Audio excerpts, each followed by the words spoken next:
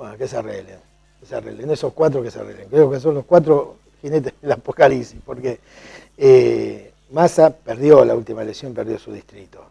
Ortubey perdió en la provincia de Salta. Eh, eh, Charetti perdió en la provincia de Córdoba. Y Miguel Ángel Pichetto nunca pudo ganar en Río Negro. Entonces realmente no tienen voto, que pero bueno, que se ayuden entre ellos.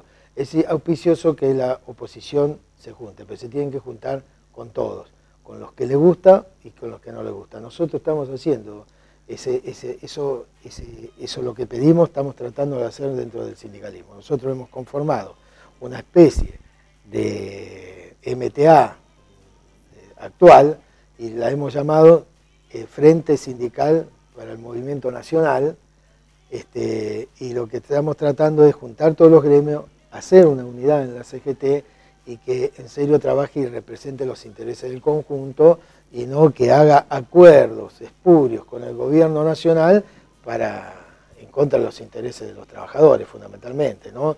y que no, no atienda, no reciba al Fondo Monetario Internacional, primero porque es, una entidad que no debe hacerlo, pero además porque está justificando el acuerdo del fondo, lo que está haciendo es este, legitimar las acciones de un gobierno de la, que, de la cual dice que está en contra.